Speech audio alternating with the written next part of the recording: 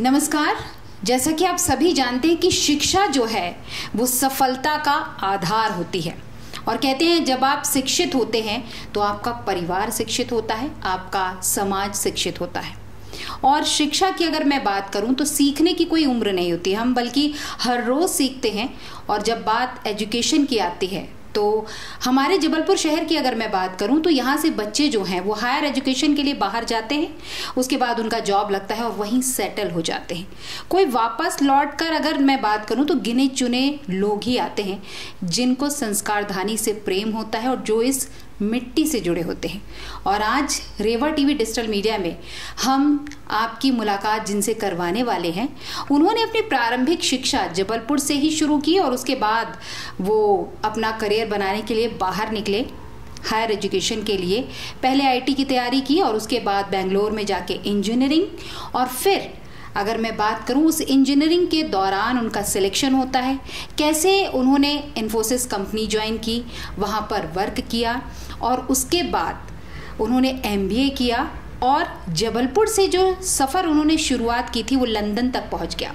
London की एक जानी मानी यूनिवर्सिटी में एमबीए किया, और तो और एजुकेशन के सिस्टम को बारीकी से जानने के लिए, उसके रूट तक जानने के लिए उन्होंने कई देशों की भी कह सकते हैं कि जाकर नव्स टटोली और भ्रमण किया और उसके बाद उन्होंने ये सारा जो एक्सपीरियंस है उसको लिया और संस्कार धानी की माटी में आ गए। कहते हैं, जब तक आप रिस्क नहीं लेते, तब तक सफलता भी आपको नहीं मिलती। तो पहला रिस्क था इन्फोसिस कंपनी को छोड़ना और दोबारा जबलपुर शहर की तरफ़ मूव करना। और फिर एक रिस्क उन्होंने लिया, जब वो जबलपुर आए और यहाँ ए फॉर एप्पल से शुरुआत करना। किसकी? एजुकेशन की। क्योंकि फ़ील्ड उनका क्या था? या तो आईटी या एजुकेशन और वो सोचते हैं ये कि जबलपुर के जो बच्चे हैं, जो पलायन कर रहे हैं, खासकर हायर एजुकेशन के लिए जॉब के लिए, वो ये चाहते हैं कि ये बच्चे हायर एजुकेशन करते हुए वो यहीं पर रहें और अपना करियर बनाएँ और जबलपुर शहर में नित नए सोपान तय करें। तो आइए देर न करते हुए हम आपकी मुलाकात करवाते हैं डॉक्टर सुधांशु गुप्ता जी से, जो कि इस समय एम एम इंटरनेशनल स्कूल चला रहे हैं बच्चों के लिए। इसके अलावा अगर मैं बीजेपी पार्टी की बात करूँ तो विदेश संपर्क विभाग के प्रदेश के सहसंयोजक पद पर हैं और समाज सेवा हमेशा करते रहते हैं।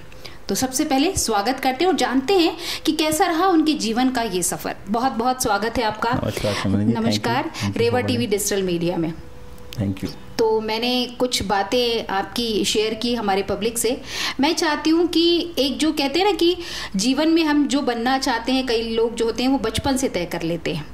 और अगर मैं आपकी बात करूँ क्योंकि आपने इतनी हायर एजुकेशन ली इंजीनियरिंग की एमबीए किया और फिर जबलपुर आना हुआ तो कैसा रहा ये सफ़र आपका? देखिए सफ़र तो बहुत अच्छा था। जी। लोगों को ज़िंदगी निकल जाती है ये समझने के लिए कि करना क्या है। जी। तो मेरे को तो जल्दी संस्कार धानी में माँ नर्मदा के आशीर्वाद से हम्म। उसके मेरे को यहाँ लौट के बुला लिया गया। हम्म। कहीं ना कहीं ये जो संस्कार धानी का प्रेम था हम्म। मेरे मम्मी पापा का आशीर्वाद था जिसके कारण मैं यहाँ आया। जी।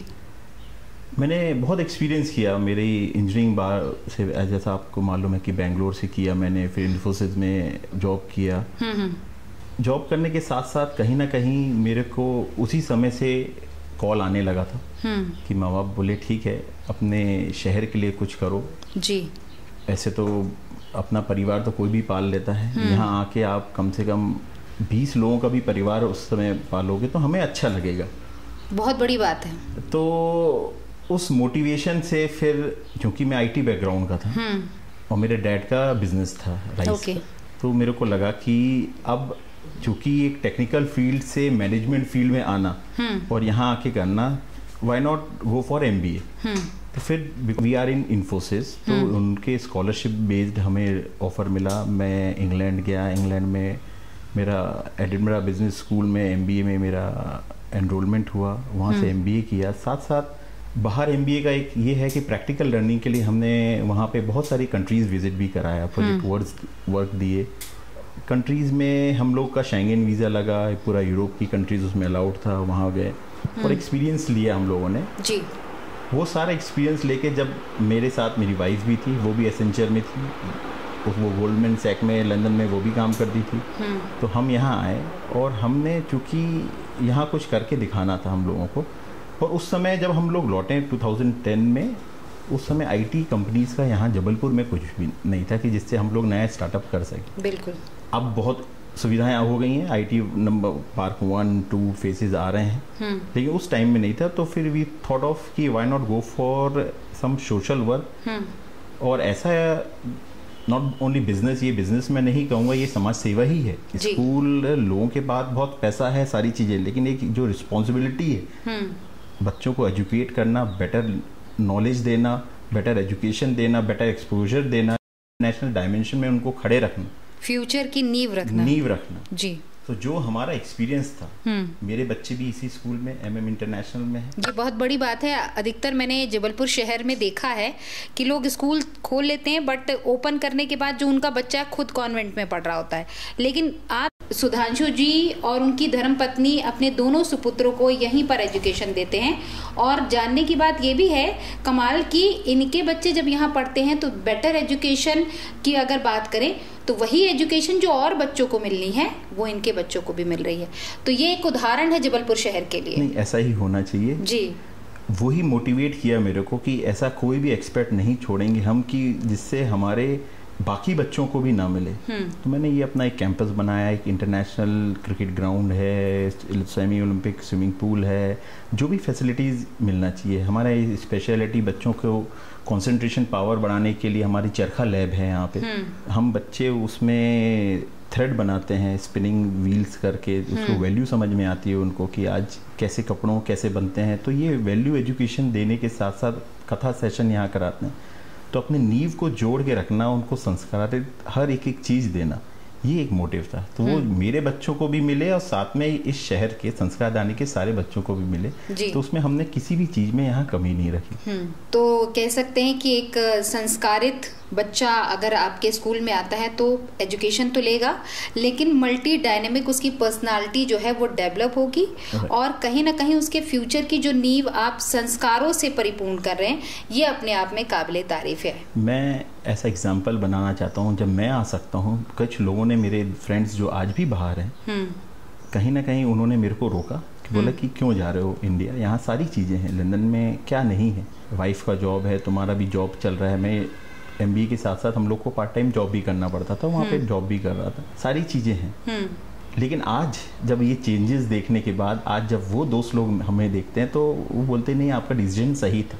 तो वो एटलीस्ट मैं तो एक छोटा मतलब नामात एक एग्ज़ाम्पल बनाना चाह रहा हूँ कि एटलीस्ट हमारे इंडिया में माननीय नरेंद्र मोदी जी के नेतृत्व में जिसके कारण मैं उनसे इंस्पायर्ड होके मैंने बीजेपी का भी माननीय हमारे प्रदेश अध्यक्ष जी विष्णुदत्त शर्मा जी के कारण और उनसे इंस्पायर्ड होके मैंने ये पार्टी भी ज्वाइन किया उन्होंने नया दायित्व भी मेरे को एन cell just because of my experience only कि एक नया विंग्स तैयार किया है और इसमें हम जितने भी इंडियन डाइस्पोरा हैं बाहर उन मध्य प्रदेश के उनको कनेक्ट करने के लिए अपनी पॉलिसीज़ को बताने के लिए उनको अभी कि जो हमारे जिस कारण से हमारा ब्रेन ड्रेन हुआ है जी। वो हम ब्रेन गेन में कैसे कन्वर्ट कर सकें।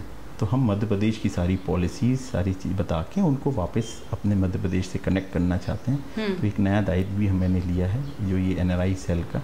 और पूरी कोशिश कर रहे हैं कि जितने भी हमारे भाई बहन बाहर हैं वो अपने मध्य प्रदेश से कनेक्ट करें और एक छोटा सा एग्ज़ाम्पल बने कि वापस हमारे संस्कार धानी में भी आप देख रहे होंगे कि दिन पे दिन डेवलपमेंट हो रहा है। मेरे को लगता है मध्य प्रदेश में सबसे ज़्यादा अगर जहाँ पे अभी वर्क चल रहा है चाहे आप वो फ्लाईओवर ले लीजिए चाहे रिंग रोड ले लीजिए और सारे आईटी पार्क से ले लीजिए मेरे को लगता है कि फ्यूचर बहुत अच्छा है। और लोगों को मैं ये भी अपील करता हूँ कि जहाँ पे भी हैं आप अभी मल्टीनेशनल कंपनीज़ में एक बार वापस जबलपुर की ओर रुकें तो इसमें हमारे शहर का और हमारे प्रदेश का नाम रोशन हो। तो जो दोस्त आपको रोक रहे थे और आपको ये कह रहे थे कि डिसीज़न लेना एक रिस्क है और कहते हैं कि जब तक आप समुंदर का किनारा उसको छोड़ने का साहस नहीं करते तब तक आप समुंदर को पार नहीं कर सकते। आज वो ही मज़ाक में कहते हैं कि सुधांशु भाई मेरे को जॉब में रख लेना। क्या अभी मैं इंडिया आना चाह रहा हूँ तो मेरे को गाइड कर देना। हम्म।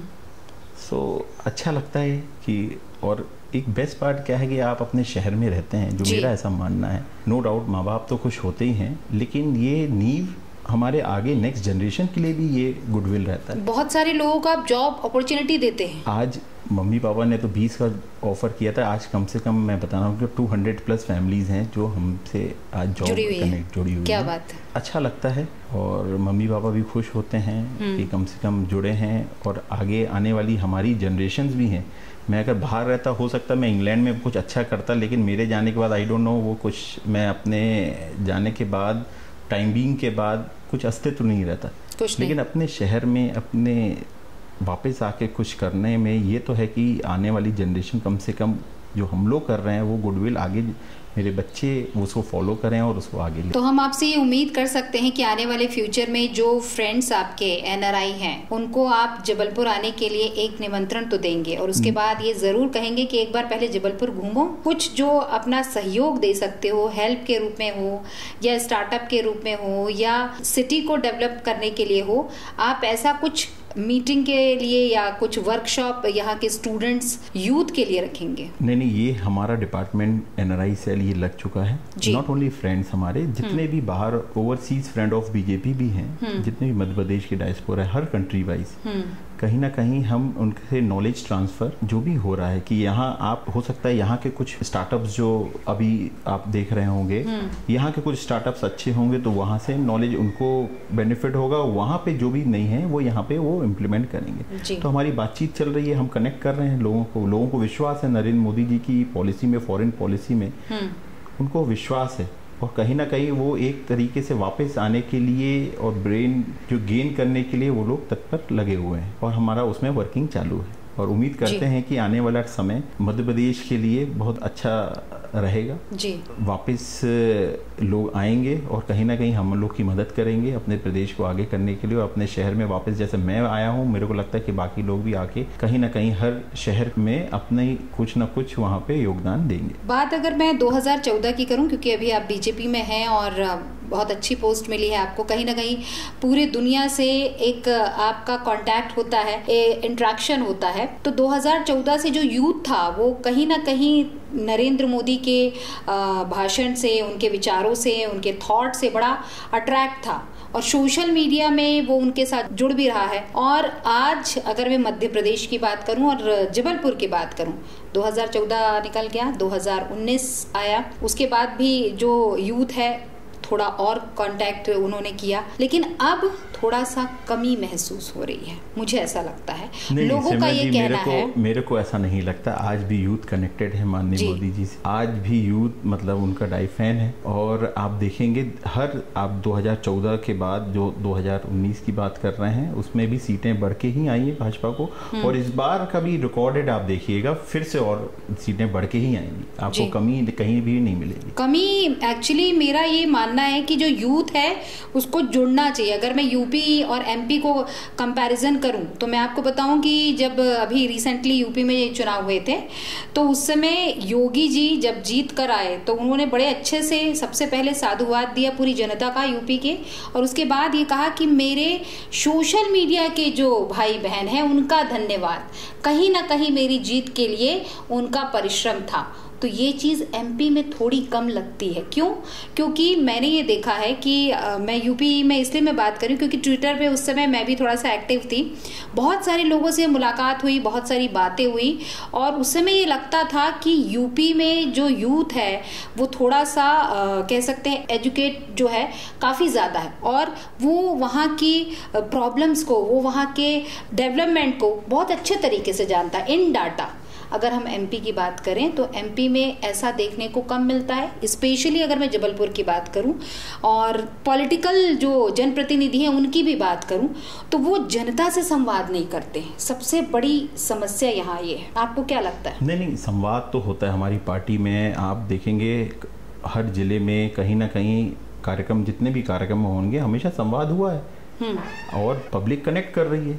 आज ही हमारे क्षेत्र विशेष की बात कर रही हूँ कल ही हमारे संवेदनशील मुख्यमंत्री जी ने आप देखिए आप देखिए हर एक एक इतनी संवेदनशील सरकार है कि हर एक एक आप महिलाओं से लेके युवाओं की रोज़गार से लेके उनको स्टेफन से लेके आप देखिए स्टार्टअप में कितने हो रहे हैं। आप कोई भी अगर आप उद्यमी योजना देख लीजिए हर यूथ को चांस मिल रहा है और लोग स्टार्टअप कर रहे हैं। और लोग कनेक्ट कर रहे हैं। आने वाले आप समय में आप देख लीजिएगा आपको उसमें मेरा संवाद एक्चुअली सीएम तो खैर जनसभा को संबोधित करते हैं बट मुझे ऐसा लगता है कि जैसे बाकी के स्टेट में जो जनप्रतिनिधि रहते हैं चाहे वो विधायक की बात कर लीजिए पार्षद की बात कर लीजिए सांसद की बात कर लीजिए क्योंकि अगर मैं एमपी की बात करूँ तो कि चार बार से सांसद जो हैं हमारे राकेश सिंह जी हैं। संबोधन जनता से प्रत्येक क्षेत्र में जाकर करना मुझे तो अभी तक नहीं दिखा। नहीं, शायद आपको नहीं, दिखा नहीं, होगा। जी हर ज़िले में हमारे सांसद जी बहुत ही एक्टिव नहीं पब्लिकली हर क्षेत्र में जाकर अगर वो संवाद कर रहे हैं तो बहुत अच्छी बात है। आप देखिए उनके कारण आज शहर में आप देखिए इतनी बड़ी बड़ी उपलब्धि है। आज मध्य प्रदेश का सबसे बड़ा फ्लाईओवर बन रहा है सबसे बड़ी रिंग रोड बन रही है। सारे इंटरनेट अब नेशनल इंटरनेशनल एयरपोर्ट की प्लानिंग हो गई है आप देखिए। मतलब मेरे को तो विकास दिख रहा है यहाँ पे। विकास लेकिन उद्योग कहाँ आ रहे हैं? आप बताइए ना। आप देखिए। चार बार से वो सांसद रह चुके हैं। कहीं उद्योग कितने आए कितने बड़े इन्वेस्टर्स मीट यहाँ पर हुई? देखिए आप यहाँ पे औद्योगिक पार्क आप देखेंगे पूरा आपका रिछाई एरिया पूरा पैक है। अभी आप उमरिया डुगरिया देखेंगे पूरे में कंपनीज़ आ चुकी हैं। तीसरा आप मंडला रोड में देखेंगे वहाँ पे भी है। उद्यम आप आ रहे हैं आप आप देखिए आईटी पार्क बना फ़ेज़ वन हो गया पैक है फ़ेज़ टू पैक है फ़ेज़ थ्री की तैयारी चल रही है। मेरे को ऐसा लग रहा है कि आप ये अपनी जल्दबाजी होगी। आप देखिए जल्दबाजी नहीं ये मेरा नहीं एक्चुअली जनता का ये आ, सवाल रहता है कि हमारे शहर में बहुत कम योजनाएँ आती जैसे जैसे एमपी में कोई भी योजना आती मैं आपको मैं बताना चाहूँगी। तो पहले सबसे पहले जो आ, अधिकार मिलता है इंदौर को चला जाता है फिर भोपाल को फिर ग्वालियर को बचा हुआ जबलपुर। नहीं नहीं हम और बहुत सारी चीज़ें भी। प्रयास कर रहे हैं कि हमारा जबलपुर भी नंबर वन रहे। इसीलिए मैं कह रही हूँ। हम ये मेरा भी और हम सब पार्टी का भी ये देय है कि हमारे जबलपुर के जितने भी प्रतिनिधि हैं, सारे लोग मेहनत कर रहे हैं। और आप देखिएगा, आने वाले समय में जबलपुर भी नंबर वन रहेगा। आज इंदौर इसलिए नंबर वन है क्योंकि वहाँ का सांसद शाम को भी सवाल उठाता है, जो मांग करता है, प्रधानमंत्री सुनते हैं। सबसे पहले ये है कि जनता के साथ उनका इंट्रैक्शन होता है। मेरा एक्चुअली कोई किसी से मतभेद नहीं है, ना ही किसी से कोई नाराज़गी है, लेकिन जनता का ये कहना होता है कि कम से कम महीने में एक बार आप पूछिए तो कि हम समस्या क्या है। कई बार ये होता नहीं, है। नहीं हमारे सांसद जी आप देखेंगे हर क्षेत्र के दौरे में है हर ज़िले में हर आप देखेंगे अलग अलग विधानसभाओं में उनका मुझे लगता है कि आपको संपर्क करना चाहिए इस विषय पर नहीं नहीं और मैं, बात भी मैं करनी चाहिए है आप जो भी और भी रहेगा उसमें हम लोग सुझाव आपका सुझाव हम लेते हैं और उसमें और अगर लगेगा तो हम और इम्प्लीमेंट करेंगे लेकिन मैं आपको ये कहना चाहूँगा आप देखेंगे जितनी मेहनत हमारे सांसद जी कर रहे हैं आप देखिए उसका रिज़ल्ट आने वाला है। अब देखिए एक फ्लाईओवर आपका बन रहा था अभी वो कंप्लीट नहीं हुआ हो जाएगा। आप नहीं मैं उसको बता रही हूँ क्योंकि आप एक इंजीनियर भी हैं देखिए देखिए उनकी बात नहीं कर रही हूँ मैं देखिए। मैं उसकी बात नहीं कर रही हूँ। एक फ्लाईओवर बन रहा था उसको आप कंप्लीट होने देते। वहाँ कटंगा में दूसरा स्टार्ट हो गया। बरसात एन मौके पर खड़ी है। सड़कों में गड्ढे हो जाएँगे और आप जबलपुर की स्थिति जानते हैं कि जैसे ही बरसात आती है जल प्लावन साथ में लेके आते देखिए जबलपुर में गड्ढे आप जहाँ की बात है आजकल इतनी हाईटेक मशीन हैं इतने हैं आप पैरल वर्क चल रहा है। आप देखेंगे अगर फ्लाईओवर बन रहा है तो नीचे की रोड्स भी पैरल बनती जा रही है। लेकिन एक कंप्लीट हो जाने देते आप। कल को दूसरा नेता। विकास चलने दीजिए ना एक तरफ़ आप बात कर रहे हैं विकास नहीं हो रहा। नहीं विकास हो रहा है। कटंगा में आपने को क्या सर्वे करवाया कि वहाँ पर फ्लाईओवर की आवश्यकता थी? नहीं आप शाम को जाइए वहाँ पे जितने जितना ट्रैफ़िक जैम होता था लोगों की वहाँ डिमांड है। डिमांड के बेसिस में ही ये फ्लाईओवर्स की रिक्वायरमेंट बनी है और भी आने वाले समय में और भी जहाँ जहाँ पे भी रिक्वायरमेंट होगा बन रहा है। प्रपोजल है हमारा। मतलब नेताओं की जहाँ डिमांड रहेगी कि भाई मेरे क्षेत्र में भी बनना चाहिए वहाँ बनी है वहाँ बनी है वहाँ बनी है। नहीं नहीं क्षेत्र की बात नहीं देखिए ये तो आम पब्लिक की बात है। हर सुविधाजनक देखिए सांसद का रोल होता है कि हर एक एक नागरिक की को तकलीफ़ को समझे। आप जिस दिन आप बन जाएगा आप देखेंगे बोलेंगे जबलपुर नंबर वन।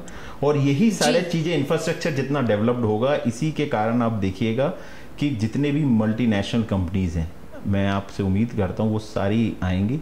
और मैं आपके चैनल से अपील भी करता हूँ कि हमारे भी जबलपुर के भी जितने भी लोग बाहर वेल सेटल्ड हैं या इस्टेब्लिश्ड हैं बड़ी बड़ी कंपनियों के कोई वाइस चेयरमैन बन गए हैं कोई हैं आप एक बार वापस आइए उनसे अपील करिए अपनी कंपनी में भी करिए कि हमारे जगह सारी सुविधाएँ दे रहे हैं हम लोग कोशिश करें कि हम अपने शहर के लिए हर एक एक नागरिक कुछ ना कुछ यहाँ पे लाके उनको कंपनीज़ को भी फोकस करें। और मेरे को लगता है ये करके जो आज युवाएँ बाहर इंजीनियरिंग के बाद बाहर जा रहे हैं तो वो रुकेंगे अपने शहर में और अपनी जो इंटेल जो उनकी काबिलियत है, जो बाहर दूसरे स्टेट में कर रहे हैं, वो रुक के अपने शहर का, अपने प्रदेश का वो विकास करेंगे। यहाँ की जो यूथ हैं हम उनसे मिलते हैं तो उनका यही कहना रहता है कि अगर इंडस्ट्रीज़ यहाँ पर आ जाएँगी तो हम जो बाहर जॉब के लिए भटकते हैं हम यहीं रुकेंगे माता पिता के साथ रहेंगे। मैं भी यही चाहता और दूसरी बात वो ये भी चाहते हैं आज का युवा क्योंकि हम उनसे मिलते जुलते रहते हैं तो वो कहते हैं हम मेडिकल के लिए भी आप सोचिए एक समय ऐसा था लोग यहाँ पर ट्रीटमेंट कराने आते थे और आज नागपुर जाते हैं जबकि हमारे पास अब ऐसा नहीं मेडिकल है विक्टोरिया मेडिकल जाइए। जाइए मैं वही बोल रही मल्टी स्पेशलिस्ट आप देखिए कितनी डेवलपमेंट है। मैं वही बोल रही हूँ हाँ। कि एक समय ऐसा था उसके बाद लोग नागपुर की ओर पलायन करने लगे आज फिर से मेडिकल और विक्टोरिया आ रहे हैं। आ रहे हैं। ये अच्छी बात है ये उनको तो, जागरूक करना पड़ेगा हमको। ये तो एक बहुत अच्छी बात है। क्योंकि एक सरकारी अधिकारी वो मेडिकल और विक्टोरिया में जाके अपना ट्रीटमेंट नहीं कराता। आप बहुत सारे न्यूज़पेपर में पलट कर देख लीजिए कि अधिकारी कहीं प्राइवेट हॉस्पिटल में है। तो हमको पहले अवेयरनेस अपने घर से शुरुआत करनी होगी। आप देखिए बहुत सारे ऐसे सरकारी अधिकारी हैं जो अपने बच्चों को कॉन्वेंट में पढ़ाते हैं। सरकारी में नहीं पढ़ाता क्योंकि उसको ये लगता है कि मेरा बच्चा कॉन्वेंट में अच्छा सीखेगा। जिस दिन एक कलेक्टर का बच्चा एक एसपी का बच्चा एक सरकारी अधिकारी का बच्चा सरकारी स्कूल में जाकर पढ़ेगा वहाँ पर जाके उन सुविधाओं के साथ में पढ़ेगा उस दिन भारत बदल जाएगा। आप क्या कहते ये सही है आपका कहना सही है लेकिन हमारे माननीय मुख्यमंत्री जी ने जो सीएम राइज स्कूल बना रहे हैं आप देखिए जो स्कूल का डेवलपमेंट हो रहा है उसमें सारे इंफ्रास्ट्रक्चर जैसे आप ये प्राइवेट स्कूल्स देख रहे हैं वैसे ही आपको सरकारी स्कूल भी नज़र आएँगे। आप थोड़ा समय रखिए। जहाँ तक बात है मेडिकल उसका तो आज भी मल्टी स्पेशलिस्ट हॉस्पिटल में जितने अच्छे डॉक्टर्स अपने अब हो गए हैं जी। अब पलायन जो नागपुर का वो रुक रहा है। आप अपने देखिए सारे इलाज हो रहे हैं पैक हैं हमारे। और भी डेवलपमेंट हो ही रहा है।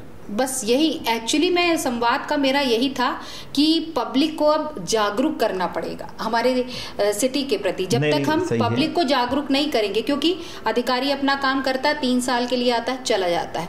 लेकिन जनप्रतिनिधि जो है उसको ये पता होता है कि उस अधिकारी से काम कैसे लेना है और पब्लिक को कैसे प्रॉफिट पहुंचाना है। लेकिन ये तब होगा जब स्वयं जनप्रतिनिधि जागरूक होगा वो पब्लिक के साथ इंट्रैक्शन करेगा उनकी प्रॉब्लम को समझेगा तब वो एडमिनिस्ट्रेशन को उस अकॉर्डिंग बताएगा। लेकिन जब वो अवेयर नहीं होगा तो प्रॉब्लम होगी। प्रॉब्लम यही है। मेरे को ऐसा लगता है कि अभी जो स्थिति है बहुत अच्छी है और आने वाला समय और स्वर्णिम होगा। और मेरे को ऐसा लगता है इस शहर के लिए बाकी जितने भी जनप्रतिनिधि हैं चाहे वो किसी भी पार्टी हो सब लोग अपना एक ही ध्येय रखें कि शहर का विकास कैसे हो इस शहर में सहभागिता कैसे दे सकें और इस शहर को नंबर वन हम कैसे बना सकें। इन फ्यूचर आपको पॉलिटिक्स में और आगे बढ़ने का मौका मिला तो जबलपुर शहर का विज़न सुधांशु जी की नज़र में क्या है मेरा विजन यही है कि इस शहर का हर एक एक नागरिक इस शहर में खुश रहे उसकी मूलभूत सुविधाएँ उसको मिले लोगों को बाहर जाना ना पड़े और हमारी सरकार जितने भी अभी हो रहा है मेरे को ऐसा लगता है उम्मीद है कि ये सारे चीज़ें यहाँ पे हो भी रही हैं हम्म। और आगे भी और बेटर होंगी और जिस जैसा हम चाह रहे हैं कि युवाएँ बाहर ना जाएँगे अब इंफ्रास्ट्रक्चर डेवलप्ड हो रहा है कंपनीज़ आ रही हैं यहाँ पे। लोग अब जो डेवलपमेंट जैसा आप देख रहे हैं कि हैदराबाद पुणे बेंगलोर उन उस दिशा में ये जबलपुर बढ़ रहा है। हम्म। और मेरी उम्मीद है कि सब लोग अपने यहाँ पे रुक के अपने जबलपुर नंबर वन बनाने के लिए अग्रसर रहेंगे। और कोशिश करेंगे। और कोशिश करेंगे सब लोग मिलके करेंगे। आप करिए आप अपने माध्यम से करिए। आप कभी अलग इंपॉर्टेंट रोल है मीडिया का। जितना अच्छा आप शहर को दिखाएँगे उतना लोग उतना अट्रैक्ट होंगे और वो वापस आएँगे और अपने मातृभूमि अपने शहर के लिए वो उतना उत्साहित से काम करेंगे। कुल मिला के अगर मैं कहूँ तो डॉक्टर सुधांशु गुप्ता जी बहुत पॉजिटिव हैं। आप चाहे उनसे हॉट टॉक कर लीजिए चाहे मुस्कुरा के कुछ पूछ लीजिए वो अपना बैलेंस रहते हैं। और ये सबसे बड़ी अगर मैं कहूँ आगे भविष्य में जब आप पॉलिटिक्स में कदम रखेंगे तो ये आपकी सबसे बड़ी विशेषता है। और जनता को डील कैसे करना है यह आपको बहुत अच्छे तरीके से आता है, क्योंकि इनका जो बैकग्राउंड है, वो इंजीनियरिंग भी है और एमबीए भी है। यानी कि वो ये जानते हैं कि भैया, आप जो बना रहे हैं कंस्ट्रक्शन में, वो मटीरियल कितना अच्छा है और वो कैसे बिकेगा? मतलब टू इन वन है आप। और दूसरी बात यह है कि समाज सेवा से काफ़ी जुड़े हुए हैं। और सबसे अहम बात यह है कि ये संस्कृति और हमारे सनातन धर्म को आगे बढ़ाने में महत्वपूर्ण भूमिका अदा कर रहे हैं, जो कि सबसे बड़ी बात है। आज के समय में आवश्यकता है हमारे युवा को ये बताने के लिए कि संस्कार क्या है। अगर उनको हम बचपन से संस्कारित करते हैं, जैसा कि इनके स्कूल में इन्होंने बताया कि कथा वाचन भी होता है, उनको साहित्य के प्रति भी बताया जाता है। चरखा के पास लेके जाया जाता है सूत कैसे काटते हैं उसके बारे में बताते हैं। तो ये कहीं ना कहीं कह सकते हैं कि एक पूरा कैप्सूल है इनका स्कूल किस चीज़ का? पर्सनालिटी को डेवलप करने का। क्या हर बच्चा आता है सबसे पहले हमारे चौकट में पैर पड़ता है। क्या बात फिर आप चाहे वो नर्सरी का हो प्ले बच्चा हो चाहे ट्वेल्थ का हो। हम्म। लेकिन आपने देखा होगा गेट में पैर पड़ेगा फिर वो सरस्वती माँ के पैर पड़ के ही जाएगा। तो ये संस्कार ये देना धर्म, भी हमारा अध्यात्म और सनातन को आप आगे बढ़ा रहे हैं और ऐसे ही बढ़ाते रहिए। क्योंकि जब बच्चा जो है वो छोटा सा आता है पल्लवित होके और यहाँ से वृक्ष होकर निकलता है। तो जब कहते हैं ना कि संस्कार के बीज आपने अच्छे बोए तो पौधा तो अच्छा लगेगा ही। तो बहुत बहुत शुभकामनाएँ। और रेवा टीवी डिजिटल मीडिया की ओर से मैं सिमरन आपको आपके उज्जवल भविष्य के साथ साथ राजनीति में जो आप कदम रखने जाएँगे और जो आपको इम्पोर्टेंट पद मिलेंगे और जिसके लिए आप ये कदम आगे बढ़ा रहे हैं एजुकेशन समाज सेवा और राजनीति, ये तीनों का तालमेल बनाकर आप यूँ ही सकारात्मक तरीके से चलते रहिए। धन्यवाद। Thank you thank you